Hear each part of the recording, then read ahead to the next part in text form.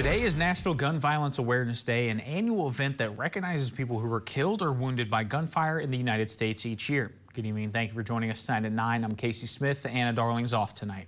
Fox 24's Brianna Moore talked with the one local gun violence survivor about her advocacy in our community and learned about an event this weekend where you can show your support.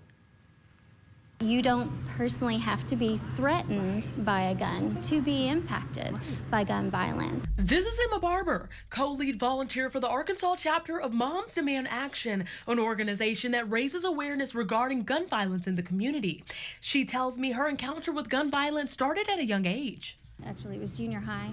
Uh, a fellow band member, uh, a fellow percussionist, one day didn't show up to school and it was odd that she wasn't there because um, she you know, as a percussionist, we all sat in the back and hung out together. She says her principal came in and shared the news that her friend and fellow band member committed suicide by using a family member's shotgun. That is just such a common thing you see in gun violence is suicide.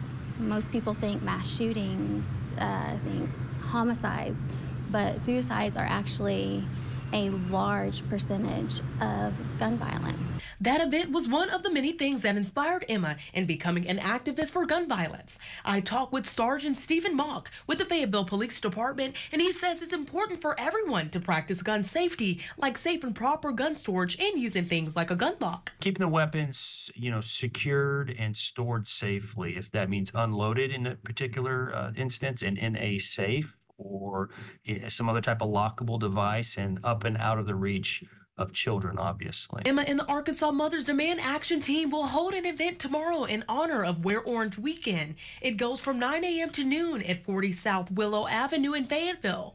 You can find more details over on our website, fox24news.tv. Reporting in Fayetteville, Brianna Moore, Fox 24 News.